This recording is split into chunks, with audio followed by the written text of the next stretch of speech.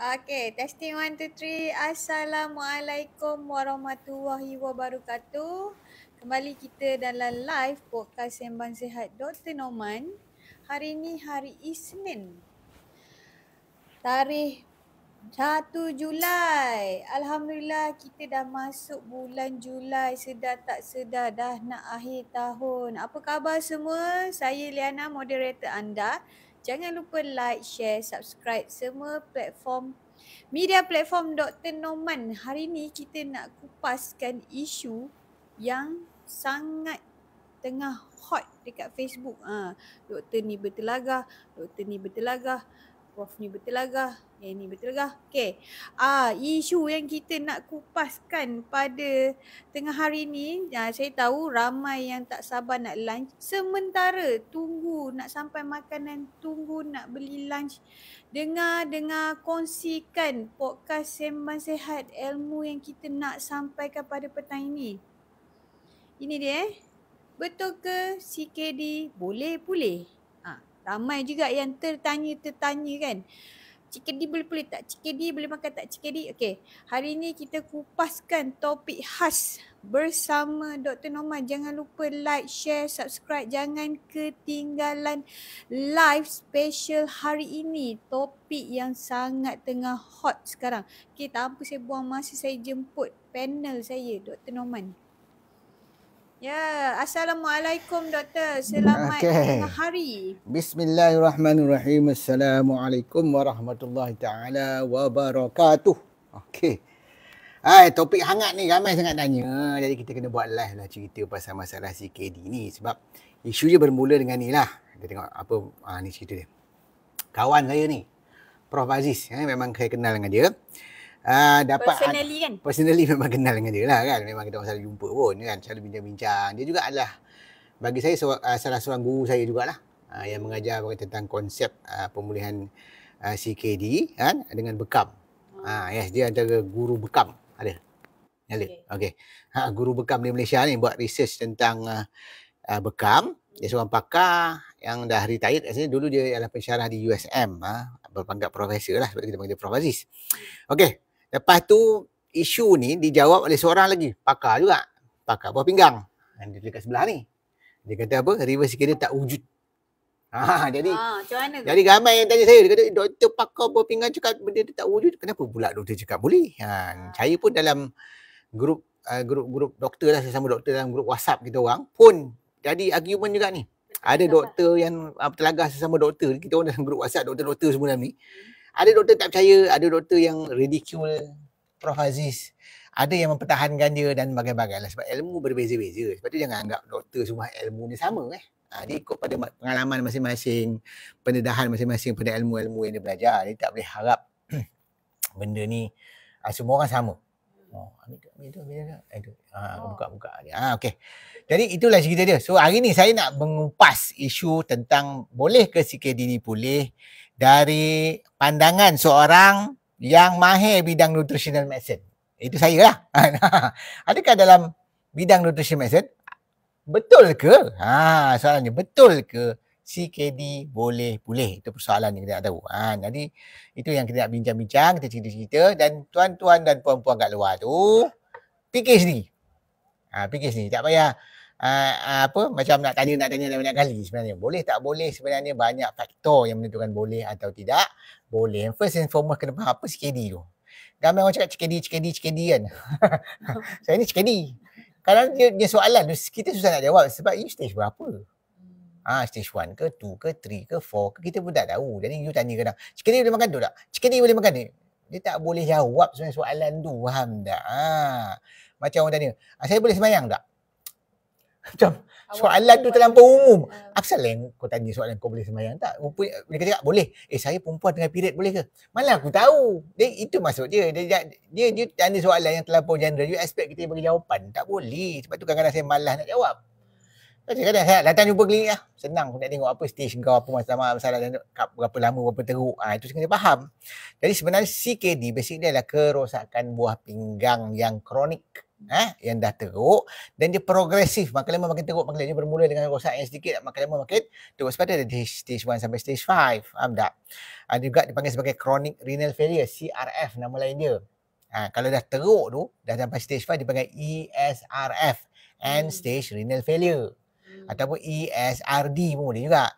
End stage renal disease. Sama lah tu. Faham tak dia bila berlaku kerosakan di bahagian penapis buah pinggang yang dipanggil sebagai nefron. Ha, nefron tu lah sebenarnya rosak dan progresif. Ha, itu nak faham. Dia progresif makin lama makin teruk. Dan biasa disebabkan kerosakan buah pinggang tu menyebabkan akhirnya saiz buah pinggang yang rosak makin kecut.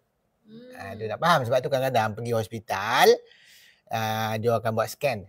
Ultrasound scan kan. Ha, Satu je. Atau ha, dapat ha. cakap dia buat ultrasound scan didapati sebenarnya kan uh, buah pinggang tu makin kecut. Ah. Itulah cerita dia. So itulah masalah dia yang berlaku. Dia makin kecut, makin kecut, makin kecut, makin kecut. Kan? Jadi itu salah satu cara sign dia lah. Maksud buah pinggang dah mula rosak. Ha, sebab tu nak kena buat scan biasanya. Biasanya kalau orang rosak buah pinggang, doktor akan hantar buat scan. Ha, yes. Ya. Apakah simptom-simptom uh, kronik uh, kidney failure ni? Ya, simptomnya bergantung pada stage. Hmm. Ha, di peringkat awal, simptomnya mungkin sekadar kulit jadi kering, gatal-gatal, mudah rasa letih, lesu. Lepas tu bila buang air kecil, kita pernah bincang eh, dalam live sebenarnya. Bila buang air kecil tu, kencing berbuih. Hmm. Ha, itu tanda-tanda awal lah tu. Lepas tu kaki bengkak, kan, sembab air kaki tu. Ha, lepas tu ada masalah mata, sembab, mata sembab dia. Tiba nampak macam sembab jangan tumbuk kan. Macam lawangan Matt Tyson je. Tak ada, rupanya baru bangun tidur. kan? Lepas tu susah nak tidur. Kan? uh, hilang selera makan. Uh, lepas tu otot selalu krem. Uh, betis-betis ni krem peha, krem belakang, sakit belakang ni krem tangan, krem segala krem, krem, krem dan sekrem lah. Uh, lepas tu uh, asyik nak buang air Asyik pergi toilet. Uh, ini benda-benda yang umum. Tak semestinya pergi toilet kalau cuaca sejuk, hujan pun pergi toilet juga. Itu bukan buat pinggang. Ini dah berulang-ulang lama. Bulan-bulan macam asyik pergi toilet je tak boleh tahan sikit. Ada masalah nak pergi mana-mana susah. Kalau naik kereta asyik nak cari R&R je. Kalau kena arena jauh dah susah. Kena pakai botol pula. Kalau lelaki ya, perempuan masalah kan tu. Boleh? Memang lah biasa terkucil. Common lah kalau dah tak tahan kan. Kalau dah kronik yang dah teruk, kadang-kadang dia akan jadi muka dia panggil cello face. Hmm. Cello face ni macam kita cakap bahasa Melayu dia pucat. Hmm. Sebenarnya kalau saya sebab dah lama jadi doktor, saya tengok patient tu, saya tengok muka saya dah boleh tahu dia sakit buah pinggang. Sebab muka dia pucat dengan mata sembab tu dah nampak lah kan tu antara dia. Lepas tu mudah semput, dia cakap semput lah breathlessness ni dia jalan sikit dia mengah mengah tu kan ha, mudah semput itu antara tanda-tanda lah sebab dia punya badan sembab mengair kan hmm. lepas tu kadang-kadang dia punya altered cognition ni ialah dia jadi macam blood loading dia cakap dia macam slow dia tak faham-faham sebenarnya oh. badan dia banyak banyak toksin uremia eh itu maksud dia uremia pada anoreksia tu maksud dia dia kurang makan selera makan dah tak ada makin lama makin tak selera makan badan dia makin kurus kering kan lepas tu kalau dia makan pun rasa makanan tu lain Hmm. Selama ni kalau dia makan biryani pun lah sedap, tiba-tiba rasa biryani rasa macam sampah. Ha, macam tu lah, tak sedap. Taste disturbance nama dia. Kan, dia rasa lidah dia tak betul. Kan, ha, lepas tu uremic breath ni antara common dia. Kalau kita dekat orang masalah, masalah buah pinggang, kita bau bau macam bau masam. Oh. Uri, urea tu, urea daripada tu keluar dekat air, dia punya uh, udara pernafasan. Jadi bau busuk sikit lah. Lepas tu ada, dia panggil typical kidney punya bau. Uh, orang yang orang yang kalau kita masuk pusat dialisis kita bau. Ustaz dari sini masuk je bau dah. It's a typical punya bau orang yang ada masalah buah pinggang. Kan? Susah nak cakap. Okay. Yang lain kencing kerap. Lepas tu uh, kencing tu banyak. Lepas tu kadang-kadang malam masih nak terkencing. Tak, tak boleh nak tahan. Asyik bangun tidur 10 kali pergi toilet kan.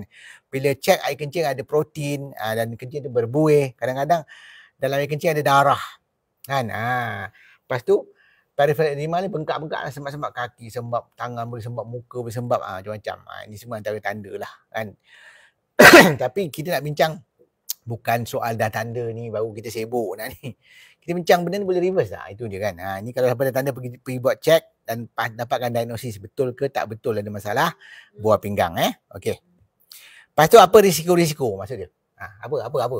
Ha, ha tadi soalan. Contoh, contoh contoh risiko commonly hmm.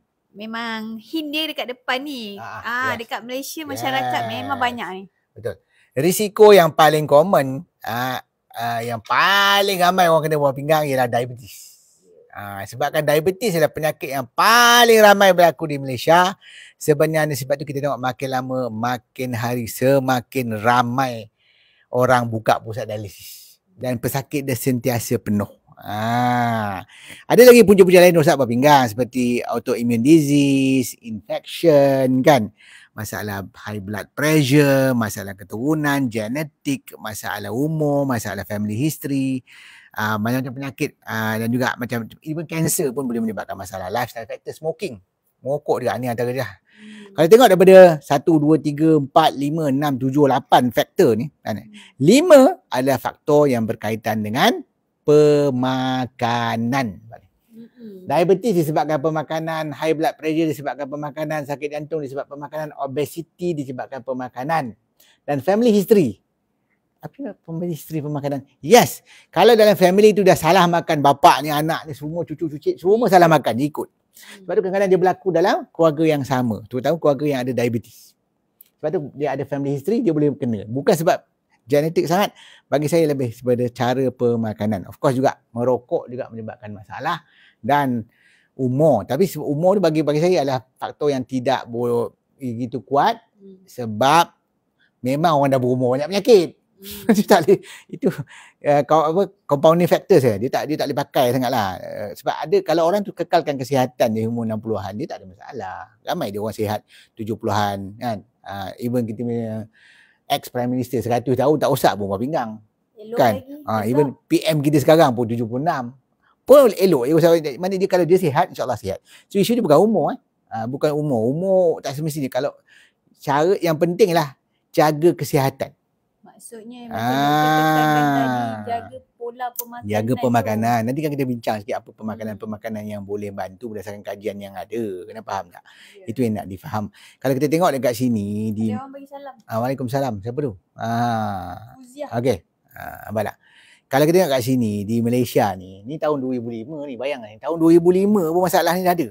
Dekat hmm. hampir 20 tahun dulu kan. Hmm, hmm, majoriti yang kena diabetes eh, yang kena buah pinggang ialah pesakit diabetes, termasuk juga pesakit high blood pressure, hypertension, darah tinggi. Sebab tu dialisis semakin banyak. Sebab dua-dua ni penyakit yang sangat common berlaku dalam masyarakat. Sebab tu saya duk tekankan kesihatan dengan ilmu yang betul, kesihatan dengan ilmu yang betul, kesihatan dengan ilmu yang betul. Kau main-mainkan saya. Gelak-gelak kan kau dah kena buat pinggang pun melalak. Tu masalah dia kan. Ha ni ah. Ha, dah teruk baru sibuk. Doktor, ada tak suplemen pulih buah pinggang? Allah, menyampah saya nak jawab. Sebab tu mula-mula tu belajar dulu macam mana nak pulihkan high blood pressure, macam nak pulihkan diabetes.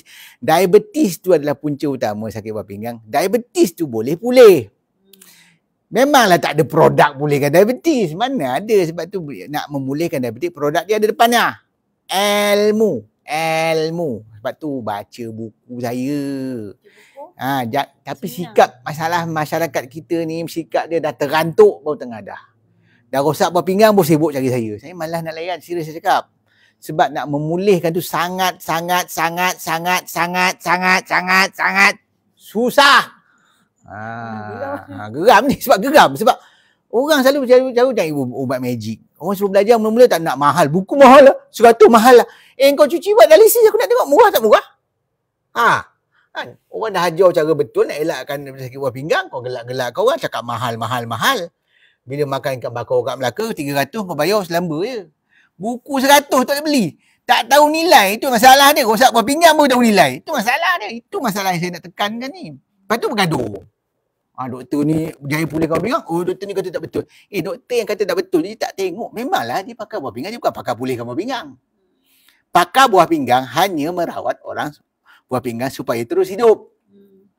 Tak ada dalam silibus pakai buah pinggang memulihkan buah pinggang. Tak ada. Kalau dia boleh kau pinggang habis tu besok tak ada pesakit buah pinggang dia tak rawat siapa? Cuba fikir kan tak logik tu. Kan? Eh, macam tu lah. Dia tak boleh expect macam tu. Memang macam tu. Jadi kena faham. Ini adalah tahun 2005 eh tengok eh. Ni punca-punca sakit buah pinggang eh. Tengok sekarang yang terbaru. Ni tahun 2020 punya data menunjukkan diabetes mellitus penyakit kencing manis adalah punca kepada masalah buah pinggang 54%. 50. This is where pentingnya kita memulihkan diabetes. Hmm. Cara paling ampuh, cara yang paling betul untuk kita sebenarnya menyelesaikan masalah buah pinggang di Malaysia dan di dunia pun sebenarnya adalah memulihkan da- diabetes, bukan mengawal gula darah. Hmm. Sebab tu sikap dan andaian doktor-doktor yang belajar tak habis tu, tolong belajar habis-habis tentang nutrition medicine. Sebabnya banyak ni tak tahu. Kita doktor, I know I'm a doctor juga. We are not trained, sebenarnya kita tidak diajar untuk memulihkan penyakit. Hmm. Kita hanya diajar bagi ubat-ubat untuk kawal sim, simptom. Termasuklah dalam masalah buah pinggang tadi, simptom utama ialah uremia. Urea tinggi, kreatinin tinggi kan. Potasium tinggi, apa tinggi. Jadi pergi kat dialisis, turunkan semua-semua ni untuk memanjangkannya nyawa sahaja. Tiada seorang pun pergi pusat dialisis lepas lima tahun baik. Hmm. Boleh tunjukkan saya lah seorang sakit dialisis pergi buat dialisis buat buat lepas lima tahun buat dialisis. Wah buah pinggang saya pulih. Tak ada. Melainkan dia tukar buah pinggang. Ha, itu je cerita dia. Kalau tukar Eh, buah pinggang tu Doctor. cerita lain. Ha. Ada tak gambaran-gambaran daripada stage pertama sampai yang kelima yang orang selalu duk tanya kita tu. Saya stage 2, saya yeah. stage 3. Dia sibuk soalan ni. Stage 2, stage 2, stage 2, stage 2, apa stage 3. Tengok ni. Stage 1 sebenarnya adalah stage yang normal. So semua manusia yang normal buah pinggang dia ialah stage 1 kidney. Kalau tengok dari segi EGFR yang tadi saya tunjukkan. Stage 2 dia dah mula rosak. So stage 2, stage 3, stage 4 sebenarnya kita ada peluang untuk reverse. Stage 5 adalah sangat susah sebab biasanya buah pinggang tu dah mula dia panggil uh, kecut disebabkan faktor fibrosis. Hmm. Fibrosis bila berlaku apa uh, tisu-tisu ditukar jadi tisu senang nak faham macam kita punya parut kat kulit ni. Parut kat kulit ni mula-mula luka, Macam ni lah. ah lama-lama dia jadi macam ah ke- tegal apa keras. Keras. Keras tu sebab men, apa dia punya collagen dekat situ ah, bukan collagen ni lah scar scar tisu dia lah scar tisu. Hmm. Jadi fibrosis ialah senang cerita macam uh, tisu scar apa scar? Parut. Parut, Dan so biasa. yes, berparut dalam badan adalah menunjukkan berlakunya keradangan. Macam kulit eh, kulit luka, lepas tu dia berparut. Sebab masa luka berlaku keradangan. Bila dia dah pulih dia akan ber, berparut. Berparut ialah tanda pernah berlaku keradangan sebelum tu. So kalau stage 5 berlaku fibrosis menunjukkan punca rosak buah pinggang adalah keradangan yang kronik. Sebab tu aku duk tekankan jaga keradangan, jaga keradangan, jaga. Ni kau sibuk kolesterol, kolesterol, kolesterol, kolesterol, kolesterol. Kolesterol saya tinggi. Baik tak? Ah, letih betul. idea itu Yes, sebab tu saya suruh betulkan. Sebenarnya kenapa orang diabetes sampai 54% menyebabkan rosak buah pinggang sebab orang diabetes mengalami kerosakan buah pinggang dipanggil sebagai diabetic nephropathy. Diabetic nephropathy adalah masalah keradangan yang berlaku pada penapis di buah pinggang yang kita panggil nef, nephron. Tu Ha. cerita dia. Betul. Yes. Ramai juga confuse. Dia tahu keradangan tapi dia macam confuse pula keradangan tu kenapa jadi kat sini kenapa jadi gini. Itu sebab dia kena baca ilmu kita Ya, ni. baca. Dia cerita dia pan- dia keradangan ni tak semudah kita tengok nombor kolesterol. Hmm. Nombor kolesterol senang tengok. Oh 5.2 tinggi. Bawah pada tu normal. Ah itu senang lah. Itu ada budak tadika pun tahu pasal nombor kan. Hmm. Nombor-nombor ni kita tak boleh kita tak ambil tak boleh ambil ambil atau pandang enteng, ambil mudah kesihatan berdasarkan nombor je. Faham tak? Kita kena tengok apa interpretation of the numbers. Macam ni lah. Eh, Stage 1. Tengok. Tengok stage 1 bacaan EGFR. Apa benda pula EGFR? Kenapa dia panggil EGFR? EGFR mendatang apa tu? EGFR. Ha. E tu ialah estimated. Ha. Bahasa Melayu dia anggaran. G tu apa? Glomerula. Ha. Ialah satu uh, gumpalan darah saluran darah kita dalam buah pinggang tu yang menapis darah kita dalam buah pinggang. Nama dia glomerulus. So penapisan di dalam buah pinggang berlaku di glomerulus. F tu ialah filtration, kadar penapisan. R tu ialah rate. Maksudnya kadar penapisan di glomerulus dalam buah pinggang. Kalau buah pinggang kita dah mula rosak, maka kadar penapisan tu mula perlahan, mula menurun. Daripada 90 dia turun bawah pada 15. Kalau bawah 15 itu dah stage 5, dah teruk sangat. Kebanyakan penapis-penapis di buah pinggang dah tersumbat.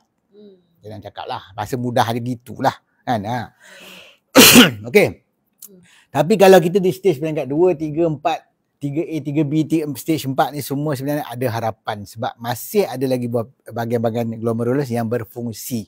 Sebab saya dah cakap tadi, punca adalah kerana berkaitan dengan keradangan. So pemulihan dia adalah dengan mengawal keradangan atau reversing your inflammation. Memulihkan keradangan tu. Nak memulihkan keradangan tu berkaitan dengan pengawalan glukosa darah. Pengambilan makanan-makanan anti keradangan. Berhenti makan. Bersenam. Minum air secukupnya. Pengambilan makanan ataupun uh, apa produk-produk yang anti keradangan antioksidan itu antara-antara dia cara-cara dia itu konsep dia bukan ambil produk ni baik buah pinggang memang tak ada. Lah sebab tak berjaya tak ada satu produk boleh cover semua masalah tadi tak ada satu produk dia pulihkan diabetik, dia pulihkan hypertension, dia pulihkan buah pinggang, dia pulihkan oh pening lah kalau kalau saya boleh buat senang hidup aku kaya raya tak ada susah sekarang ni. Kan? Sekejap, sekejap. Ha, ha. Sedikit soalan lah uh, untuk pertanyaan yang dekat Facebook atau TikTok tu. Ya ke boleh kita boleh reverse ke? Kenapa kita boleh reverse? Ha, ni, ni common lah ala kita. Ha, doktor terang. Sebab asasnya begini. First and foremost saya menjadi uh, yakin bahawa penyakit boleh reverse berdasarkan hmm. hadis dan nas Nabi Muhammad sallallahu alaihi wasallam likulli da'in dawaan. Setiap penyakit ada ubat. Itu menjadi pegangan saya lama tapi bila saya jadi doktor saya mula ragu-ragu sebab saya tengok yang saya belajar, profesor saya ajar, apa yang saya belajar dekat medical semua kata tak boleh boleh. Termasuklah tadi kita tengok definition of chronic kidney disease is irreversible damage. Tapi dalam masa yang sama kita belajar dalam uh, hadis di di sekolah dulu boleh boleh. Jadi sebenarnya saya rasa sebenarnya apa yang, sebenar, yang hakikat yang sebenar adalah ilmu perubatan alopatik yang ada sekarang yang konvensional ni tidak lengkap. Hmm. Dia tidak belajar tentang pemulihan. Dan hanya kita orang belajar pemulihan tu dalam nutritional medicine yang saya belajar lebih 20 tahun. Sebab tu sebenarnya boleh pulih tapi bukan mudah. Hmm. Dia macam tanya, boleh tak banyak gunung Everest? Boleh. Boleh ramai ada banyak. Tapi kita boleh tak? Hmm. Ha, saya pun tak berani. Belum, belum tahu lagi. kan? Kita tengok ada 300, ada, ada bukan 300 mayat eh, tersadai kat atas Gunung Everest. Baru ni orang cerita lah. Kan? Bila salji mencair, nampak semua mayat-mayat tu. Ramai yang tak berjaya. Macam itulah dalam pemulihan buah pinggang. Dalam pemulihan buah pinggang, bukan semua boleh berjaya. Walaupun keedahnya ber- betul. Sebab ikut pada tahap masing-masing. Bukan semua orang yang fit boleh lepas naik gunung. Ada orang berjaya, ada orang tak berjaya. Ikut rezeki, ikut juga atas apa yang Allah tentukan. Yes. Walaupun dia dah usaha macam ah, macam itulah. Jadi tapi itu tidak menghalangkan orang panjat gunung sampai sekarang.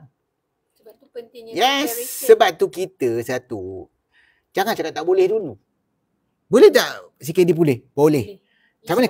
Ya, insya-Allah. Macam mana usaha dia? Ah, buatlah. Hmm. Ni buat pun tak kata tak boleh. Dia boleh cakap yang buat tu yang, yang kata ah, klinik memulihkan uh, CKD menipu. Ha, ini lagi tak betul. Sebab kau cepat sangat rasa kau tahu segala ilmu dalam dunia. Tak boleh. Banyak ada banyak. Sebab tu sekarang saya tunjukkan apa benda-benda ni. Benda ni dah lama sebenarnya. Tapi kita tengok apa situasi masalah buah pinggang kat Malaysia sekarang. Cuba tengok. Ha, tengok. Nampak tak? Kidney failure in Malaysia is on the rise. Ini sebenarnya membimbangkan kita. Sebab semakin lama semakin muda orang kena rosak buah pinggang. Kan? Saya dijumpa orang seawal umur 30-an buah pinggang dah gone. Kan? Okey. Nampak tak? Sebab apa? Dia kena diabetes umur 18 tahun. Bayangkan 18 tahun dah diabetes. Kalau 38 pada pandangan kita yang 50-an ni, pandang orang 38 ni ya Allah mudanya. Kan? Tiba-tiba dia rosak buah pinggang. Tapi sebenarnya sejarah dia 20 tahun diabetes. Of course dah 20 tahun diabetes. Memang risiko rosak buah pinggang tu sangat-sangat tinggi. Dan, yang, dan, yang menyedihkan, hmm, yang hmm. menyedihkan ha. dia tak tahu pun yang yeah, dia ada diabetes. Sebab tu saya nak bagi kesedaran pada masyarakat. Sebab tu saya berulang-ulang mengulangkan dalam dalam dalam saya punya live, dalam sini video, dalam seminar saya, dalam buku-buku saya sebenarnya kita jangan tangguh-tangguh. Hmm. Banyak orang bertangguh-tangguh apa sikit-sikit nak scam scam sangat. Ingat aku scam ke? La ilaha illallah kan? So, lewat sikit jawab dah oh ni kenapa tak jawab? Kenapa tak jawab? Allah teruknya pula. Ai sabarlah. Tak kita pakai chatbot pun susah kita pakai manual pun susah. Apa dah ni ada masalah. Orang ni sebab, sebab saya tengok sebab tu kadang-kadang dalam realiti dunia ni hmm. orang yang bersikap negatif dia memang tak boleh baik. Lepas tu saya letak nombor satu is mindset. Dalam pemulihan apa pun, pemulihan CKD ke, pemulihan diabetes ke, turun berat badan ke, mindset is number one. Hmm. Kalau dalam mindset you semua you letak negatif, memang tak boleh lah. Minta maaf lah. Tak boleh jadilah. Orang kalau negatif, tak usah akan guna Everest. Bukit Cina kat Melaka pun tak lepas. kan? Ha, apa ni semua itu kalau saya naik bukit kan patah kaki kan terpeletok ah ha, kau fikir macam tu memang terpeletok lah kau macam tu lah macam tu lah nak memulihkan penyakit mindset kena betul. First yes saya nak pulih. Saya akan buat apa saja untuk pulih. Yes. Ha, macam tu. Lepas tu mana nak belajar? Ha, belajar dengan orang yang betul. Kau nak belajar ha, kau nak belajar masalah memulihkan uh, buah pinggang Jangan belajar pada doktor nefro apa nefrologis. Memang mana ada silibus memulihkan pinggang. Silibusnya macam mana nak jaga apa orang, nyawa orang tu supaya survive dengan buat dialisis dan sebagainya itu je cerita dia. Sebab ada solution hanya buat lebih banyak dialisis center tidak menyelesaikan masalah buah pinggang. Itu ialah buat balai bomba. Faham tak? Masalahnya terbakar di merata-rata tempat. Kan? Kerja kau buat balai bomba je. Agak selesai tak masalah terbakar? Tak selesai. Sebab dia cari apa punca terbakar. Ha, apa masalah yang berlaku terbakar ni? Ha, cari punca baru selesai masalah. Tapi balik bomba kena ada. Saya bukan suruh tutup pusat dialisis. Tak. Pusat dialisis kena ada. Tapi solution dia kita kena mencegah orang yang belum kena CKD, rosak buah pinggang. Supaya jangan kena. Hmm. Itu maksud dia. Ha, kalau kita keep on asyik buka pusat dialisis tak habis-habis, eh bila nak selesai ni sakit makin lama makin ramai kos tu makin lama makin tinggi. Aku makin lama makin haus. Ha, salah dia. Nak kena minum air lah. Bismillah. Alhamdulillah. Facebook okey, Facebook. Facebook kat sini. Ah, ha, Facebook okey. Okey. okey. Okey, dari ini yang kita membimbangkan nampak tak? Hmm. Serat menjelang 20 40 jang ini jangkaan saya rasa lebih ni. Jangkaan menjelang 2040 ada 106,000 orang akan kena rosak buah pinggang. Hmm. 39,711 ha, orang akan uh, apa suffer kidney failure, kerosakan buah pinggang yang kena dialisis menjelang 2016. Eh sekarang 2024 lah. Ini lama punya statistik. 64% kidney patient receiving dialysis treatment in diabetic ah, diabetik sama tak? 64% pesakit yang buat dialisis di pusat hemodialisis adalah pesakit diabetes. Yeah. Sedangkan pesakit diabetes boleh dipulihkan kalau di peringkat awal. Kau kena dah kena buah pinggang macam mana nak pulih? Dah multiple organ damage macam mana nak pulih? Dah susah. Sebab tu saya cakap jangan bertanggung siapa ada diabetes tu tolonglah dapatkan ilmu tolonglah dengar ilmunya, tolonglah beli buku dan fahamkan ya, ilmunya. Dengar lain. Ha, tak? Ha. Salah ke aku tenung lagi aku? Lain macam tenung dok tu. Dah tu bini aku pula salah. Ni nak tenung aku. Allah, dia pula jealous. Ini isteri saya. Okey, apalah kau ni kacau. Aku tengah cakap benda lain ni. Okey. Ha. Ha. Nampak tak? Ini masalah dia. Lepas tu, dia ni solusi yang saya tak suka juga. Dia kata, the best treatment for kidney failure is transplant transplant. Hmm. Masalah ni, siapa sini sanggup sedekah apa pinggang ni? Tak nak. Ya, itu masalah ni. Kita nak dua-dua. That's why bukan senang. Bukan senang nak dapat apa kalau kalau orang dah meninggal ke apa mungkin lah kan. Hmm. Tapi kalau orang hidup nak bagi buah pinggang. Unless dia terpaksa. Ha, kita nak bagi tayar spare kereta kita pun macam tu lah fikirnya. Yeah. Kan aku tak pancit macam mana? Ha, kan? So, itu masalah ni. Itu yang susah tu. Jadi yeah. sebenarnya kalau hanya mengharapkan kidney donors untuk nak pulihkan buah pinggang. Tapi masalahnya bila orang tu dah terima katalah nasib dia baik dia dapat lah orang orang orang derma buah pinggang. Tapi kalau dia meneruskan keadaan hidup cara hidup makan yang salah, nanti yang don buah pinggang yang derma tu pula rosak. Hmm. Nah, kan kan kan rugi, dah lah susah nak dapat, lepas tu rosak balik sebab you tak faham ilmu menjaga pemakanan. Nampak yang cerita peritoneal dialisis apa semua ni semua ada semua hanya kata orang memadam api je.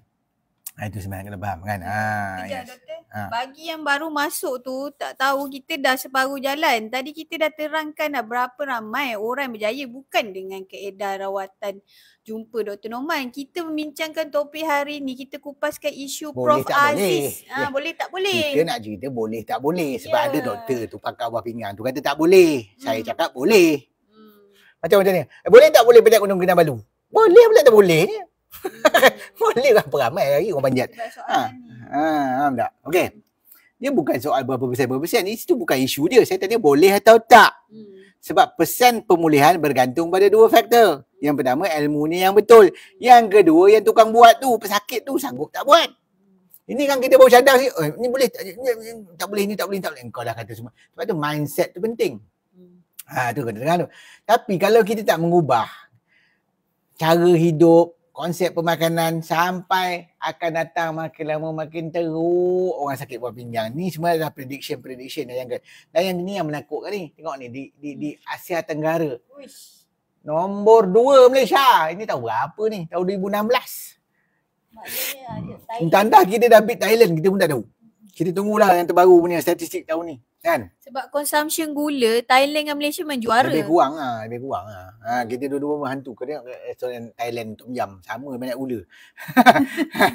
Tapi kita nampak number tu di belakang Thailand tahun 2016. Ini dah 2024 nak masuk 25 dah tak lama lagi kan. Maksud dia dah lebih kurang 8 tahun dulu. Hmm, 8 tahun. Hmm, nampak tak? Itu sebenarnya nak faham.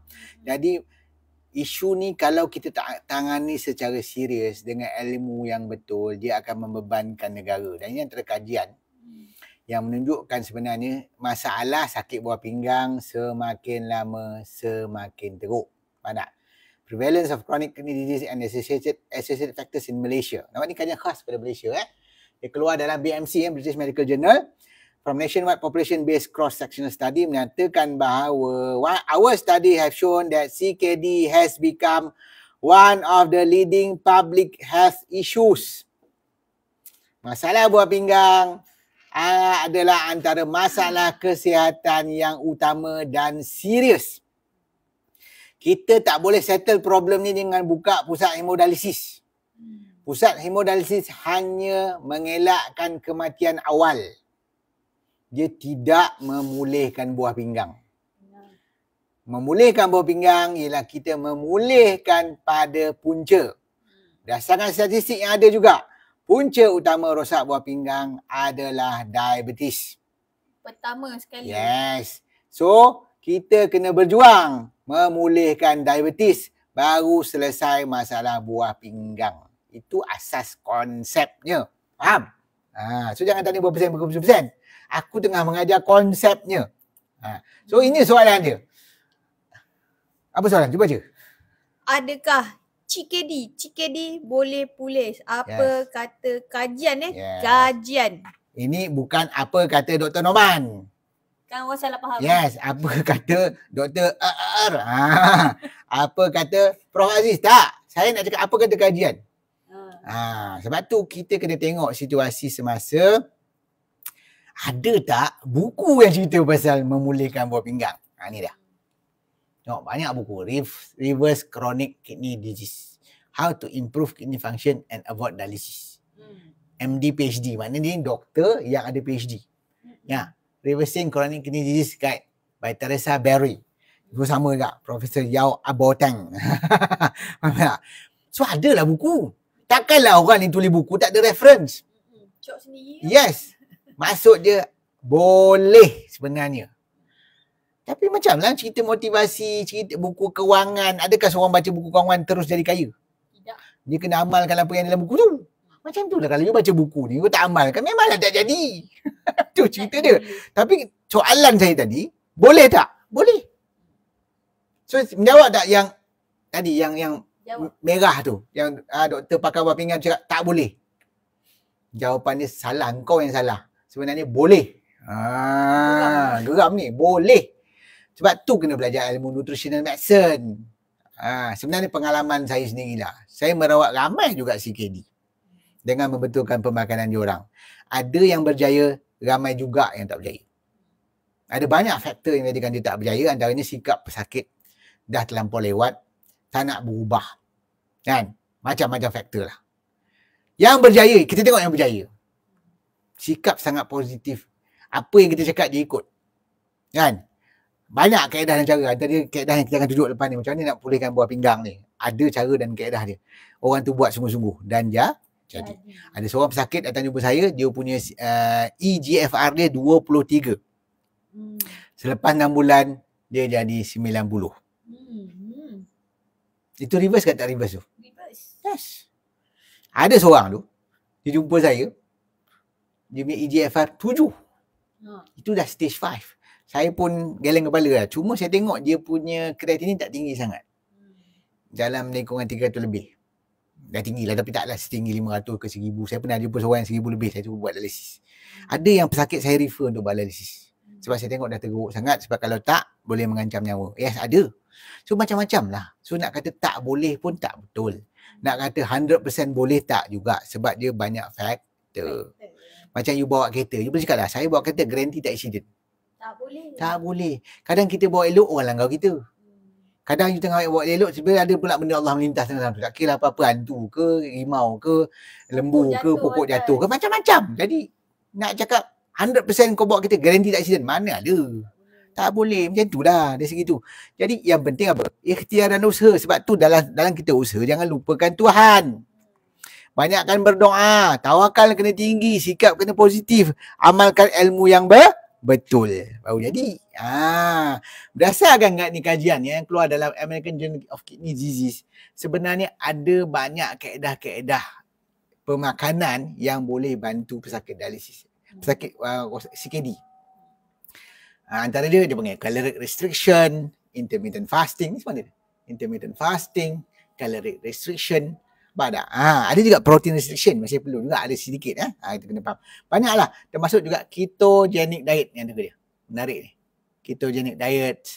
Kan? Ha, Mediterranean diet. Plant-based diet. Ada banyak sebenarnya kaedah dan cara. Ha, ha, cuma saya agak tidak bersetuju dengan kaedah plant-based diet saya masih membenarkan pesakit-pesakit yang CKD saya mengamalkan animal diet. Itu pendapat saya lah. Hmm. Ha, itu masing-masing punya pendapat. Ha, tapi yang ni sebenarnya kita kena yakin benda tu bo, boleh. Okey. Yang lain, kajian. Nampak ni semua jurnal-jurnal ni. Ha. Ha, biological, uh, uh, dalam jurnal Mall Biol Rap. kau baca, kau cari sendiri benda tu. kan? Dalam kajian mengatakan bahawa it's just suggested that ketogenic diet could be considered a new strategy for managing and treating CKD. Siapa cakap tak ada kajian? Siapa cakap kajian tu tak ada dalam jurnal? Orang tu tak baca jurnal. Itu saja. Bukan tak ada kajian. Engkau yang tak baca. Ya. Macam katalah ustaz-ustaz dia boleh cakap, tak ada hadis. Tak ada hadis.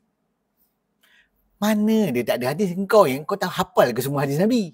Engkau ni Bukhari ke Muslim ke terror sangat sampai 2 juta hadis hafal? Tak. So janganlah cakap tak ada. Lepas tu kena hormat, menghormati, kena faham. Ada yang ada, ada yang tak ada. Boleh, boleh sebenarnya. Dan Cuma- kena tengok. Uh, isu dia doktor saya rasa kan uh, Hmm. masyarakat kita ni belum terdedah dan belum mencari uh, alternatif lain dan ilmu-ilmu yang terkini. Yes. Ha. Tak usah kata masyarakat, doktor pun sama. Sebab kita orang belajar kita tak boleh-boleh. Saya tahulah kan aku doktor.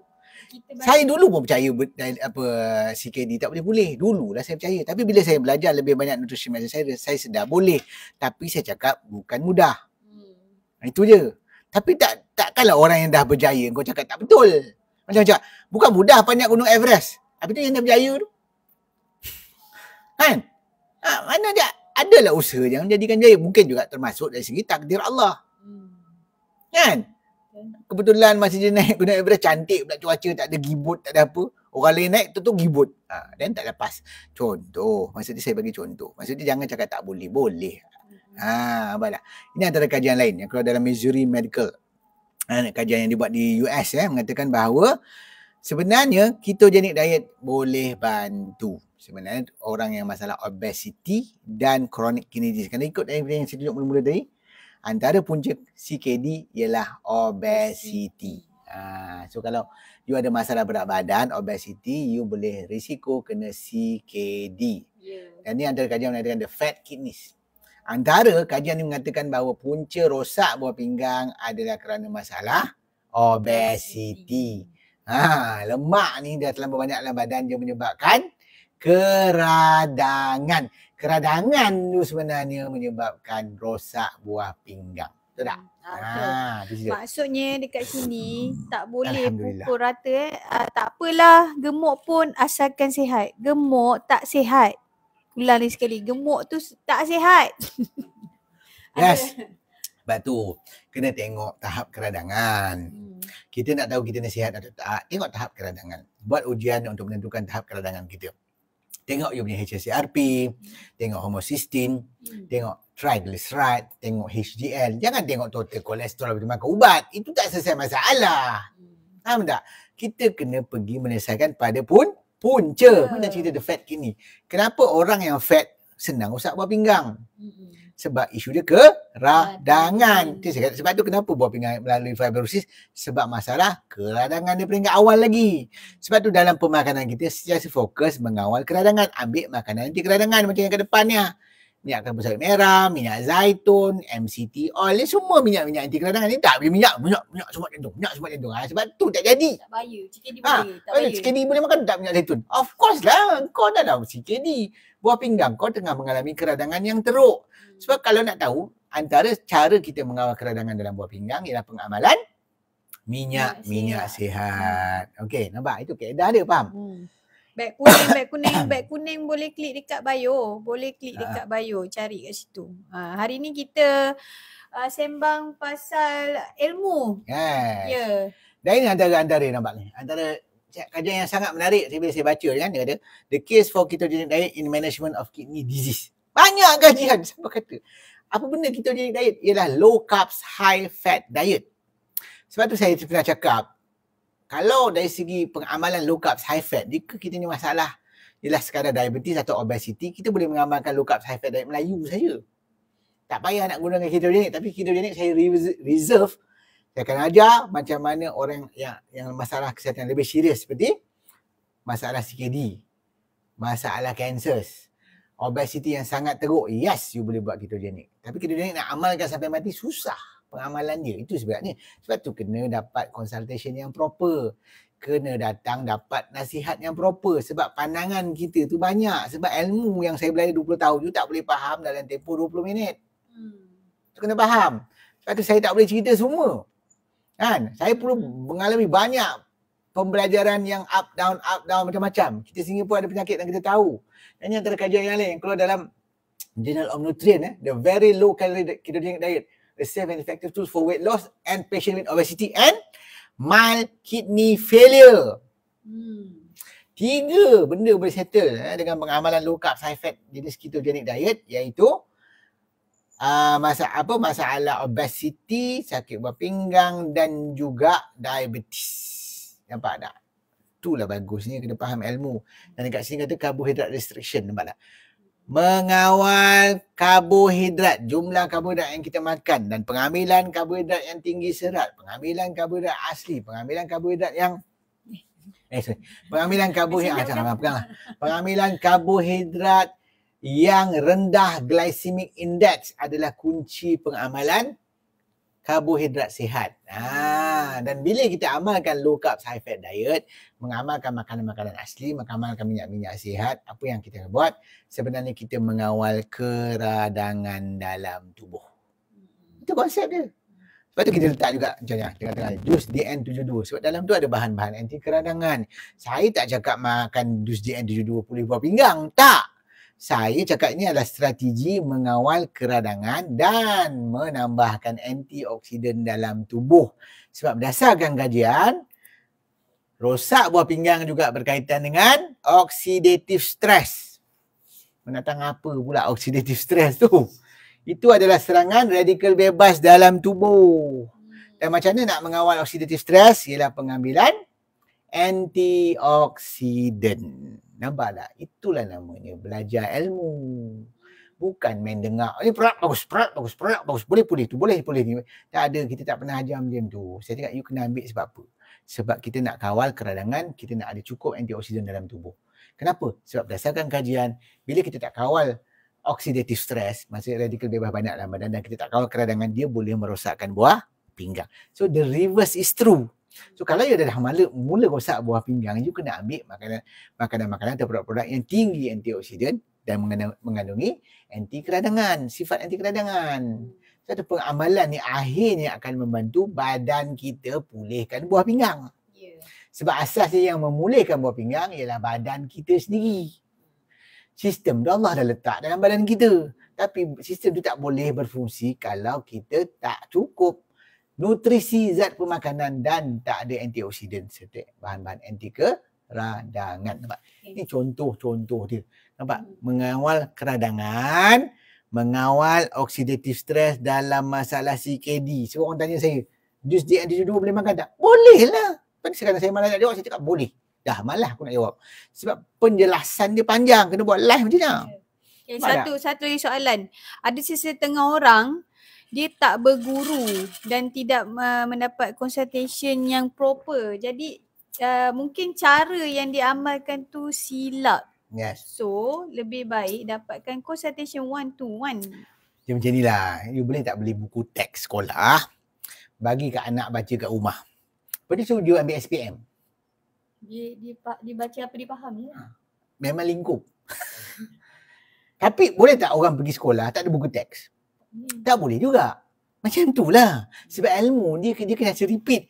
That's why saya cakap bagi yang jenis baca buku tak faham, datang seminar, datang program kita, belajar dengan saya. Tak faham, you tak ada masa nak pergi sana, tak apa. Datang personally, bayar buat consultation. Hmm. Faham tak? Untuk you faham. Tapi buku ni ada di rumah, besok you duduk balik. Buku teks lah. Macam buku teks eh. Buku, oh ini Dr. Norman cakap tu. Ha ni dia. Baru ilmu tu lekat dalam otak. Itu cara belajar. Memang itu pun cara belajar kat sekolah pun. Sebab kita Mana? bekalkan notes tu Yes, tapi mana ada sekolah kan tak ada buku teks. Hmm.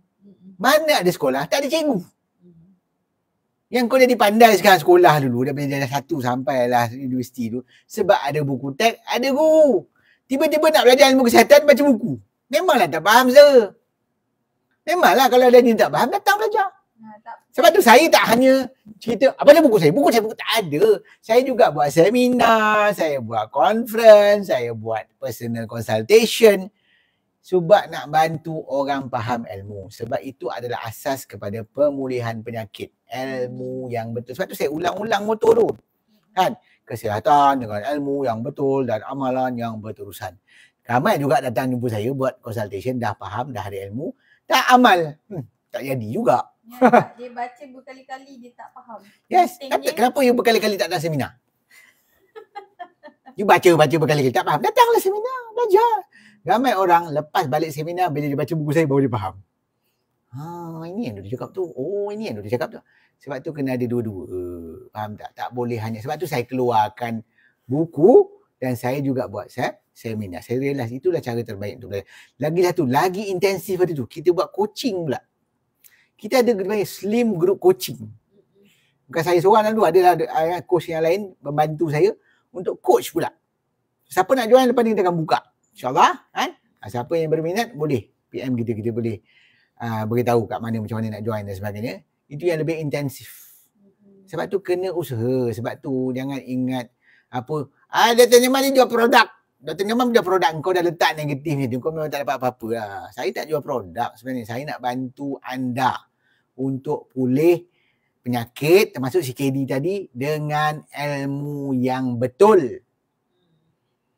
Kan? Dah ada ilmu, kena amal. Macam mana kau nak amal kalau tak ada produk? Itu saya nak tanya sekarang. You dah belajar pergi sekolah memandu, belajar memandu, dah tiada mandu, tiba tak ada kereta. Agak kau nak pergi mana? Tak boleh lah. Kau kayu bersikal tu tak sama. Macam buat penat lah pergi ambil lesen kat sekolah memandu. Kata Macam lupa. tu lah. Memanglah kalau dalam masuk lupa. Tak ingat macam sekarang. Suruh orang bawa kereta manual. Boleh? Ramai dah lupa. Sebab, sebab dah biasa sangat bawa kereta. Auto. Auto macam tu lah. Macam tu lah. Ilmu dia gitu. Dia kena kena refresh. Refresh. Tak kira ilmu apa ilmu agama. Sebab tu ilmu agama. Ada je kuliah dekat masjid-masjid surau-surau. Ada je ustaz akan ulang benda yang sama. Tiap-tiap tahun Ramadan cerita itu juga ulang. Sebab apa ilmu ni memang kena diulang-ulang. Apa yang eh, rasa tiba ilmu kesihatan kau baca sekali kau faham? Ah, you tahu saya ambil masa berapa lama benda saya belajar? 20 tahun. Berulang-ulang. Dan antara kenapa saya lekat ilmu dalam otak saya sebab saya mengajar. Itu antara dia sebab saya mengajar.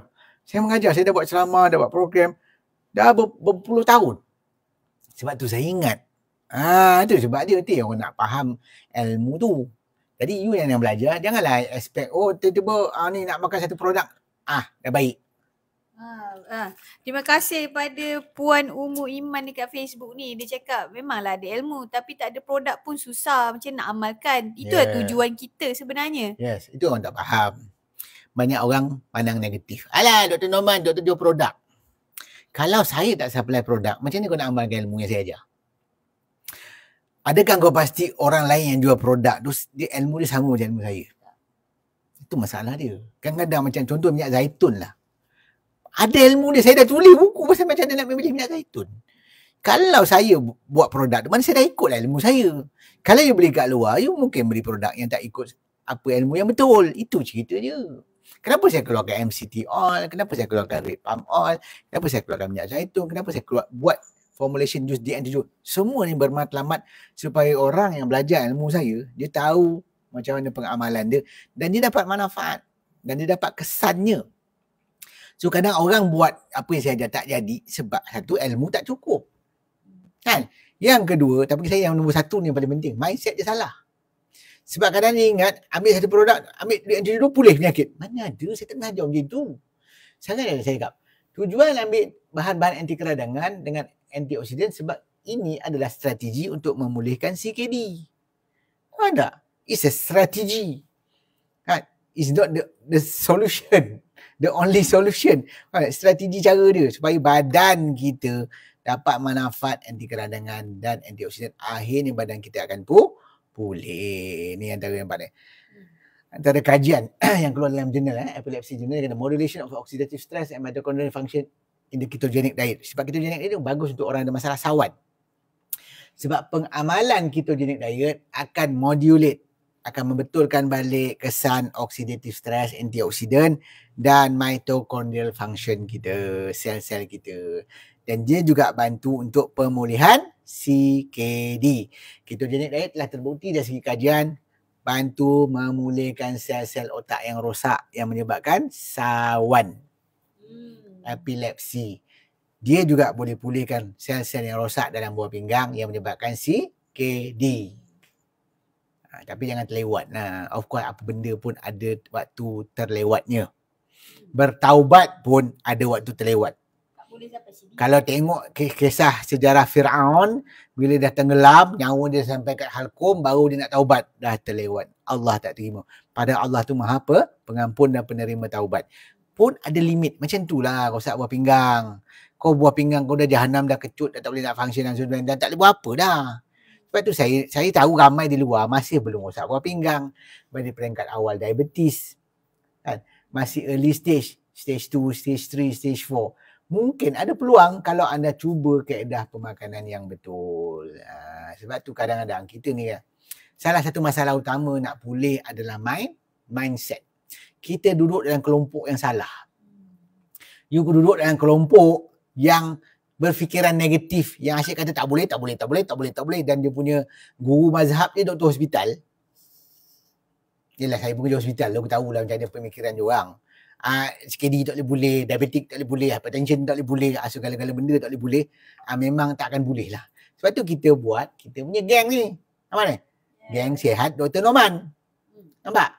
So siapa yang belum join kat luar tu? Join lah, klik ni, ni, scan ni, scan ni. Ha, ha, ha. Print, print, print screen, print screen, scan ni, lepas tu join.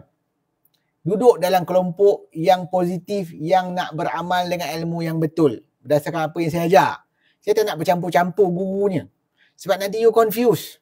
Bukan saya cakap guru lain tak betul. Sebab di luar tu ada ada setengah doktor kata tak boleh makan protein haiwan lah. Ada tak boleh makan tu. Saya punya kaedah lain.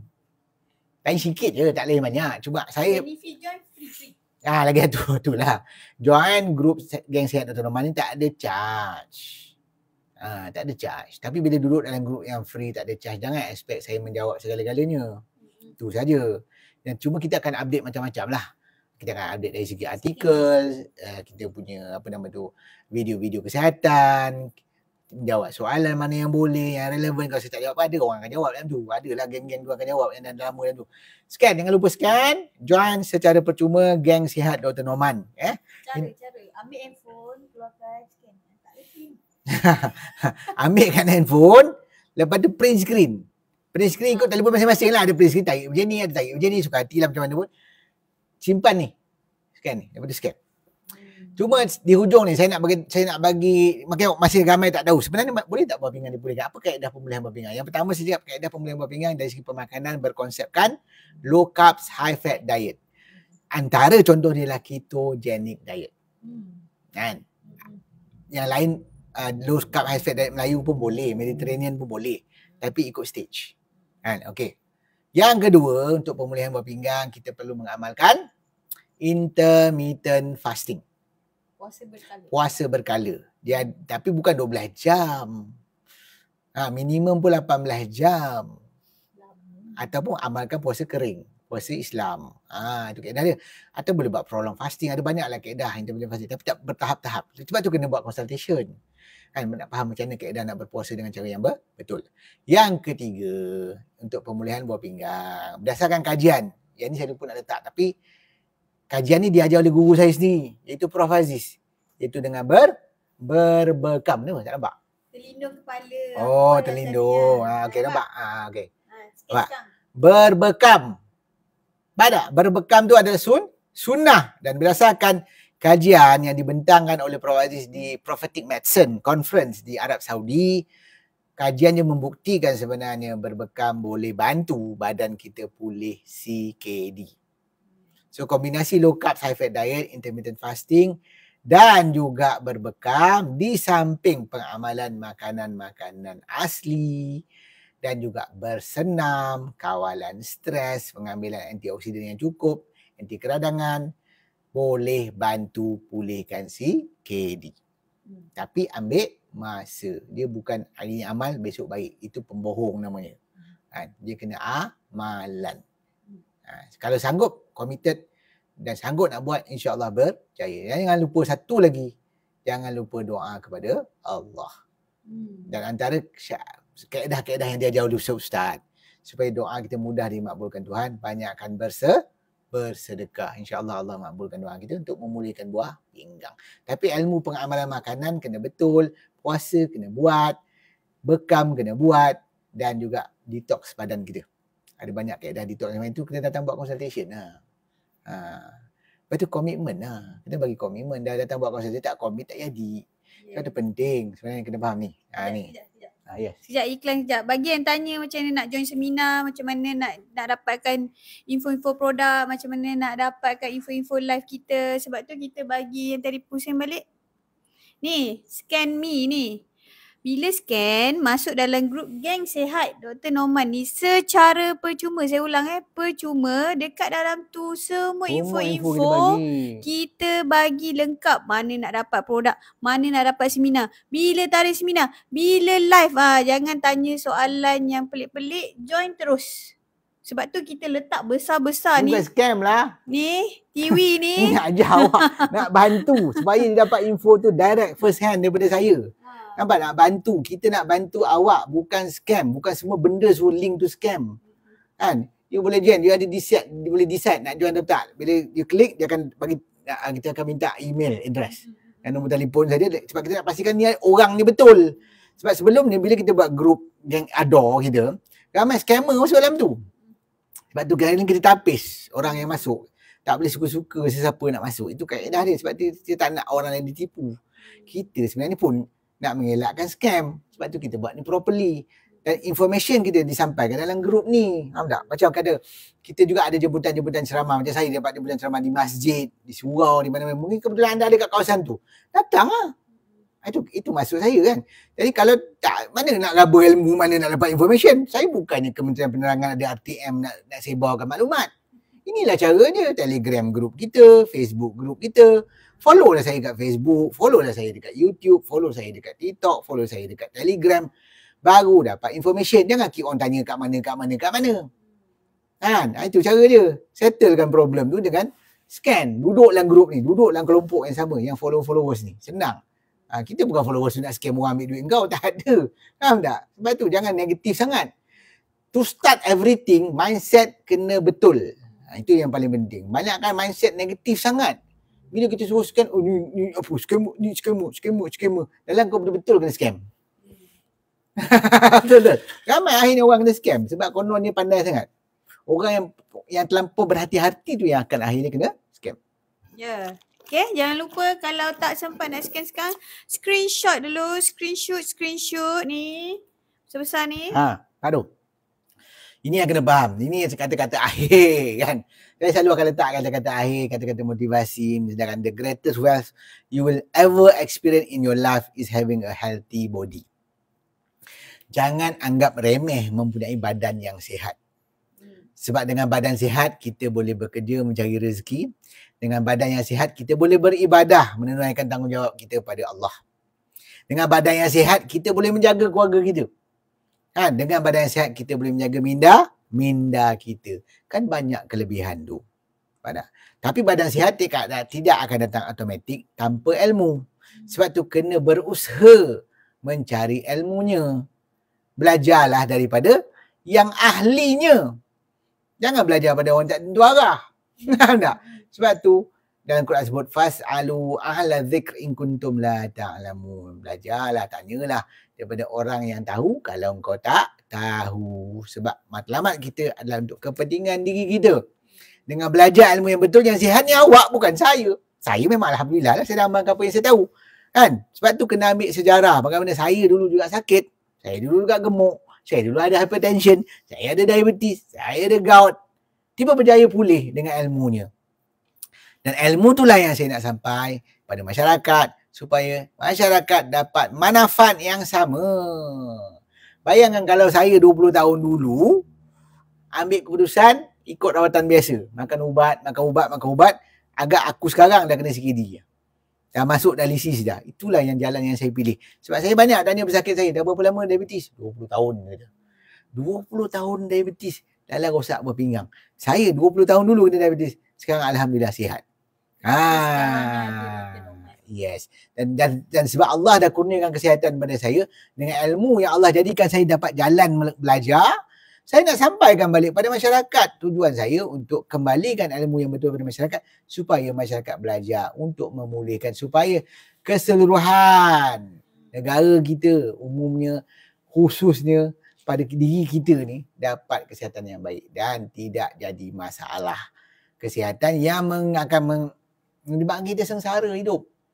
Duit banyak mana pun tak boleh beli kesihatan. Kena faham? Tapi kebanyakan masa kita sibuk cari duit. Ha, bukan kita kata jangan cari duit. Tapi dapatkan ilmu kesihatan dalam masa kau cari duit, kau juga jaga kesihatan, baru kita boleh enjoy duit kita. So keberuntungan balik pada anda, bukan pada saya. Ha, itu nak faham. Itu yang kena nilai yang diletak pada betul. Jangan letak orang pandang orang negatif. Pandang orang, oh doktor ni tak ada dua produk. Doktor ni tak ikhlas. Doktor ni tak ikhlas. Doktor seorang tu ikhlas sangat. Ada orang komen tapi saya buang yang komen-komen macam ni. Dan kau lah dah kau tahu kau nak cakap aku tak ikhlas lah jual produk yang kau masuk dalam grup aku pasal apa?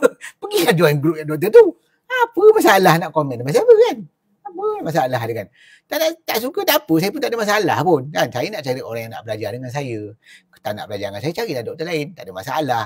Tak ada isu pun pada saya. Tapi rugi atau untung berdasarkan amalan kita. InsyaAllah. Itu dia. Okay. Ha. Okay, bagi yang tanya tadi kan persoalan-persoalan nak dapat kat mana, nak dapat kat mana buku produk semua, seminar bila, apa semua nak buat depan rumah dia. Tak payah, scan tadi tu, ha, join, duduk dalam tu. Bagi yang baru masuk, baru join kita dah nak dah habis dah pun, boleh recap balik live ni dekat FB page kita official. Tengok dekat link geng sehat kita. Dan juga dekat YouTube. Jangan lupa subscribe YouTube saya. Ni apa tak naik-naik subscriber, subscription ni. Dekat YouTube semua ya, kita letak live kita di situ. Boleh tengok insyaAllah. Ha, nah.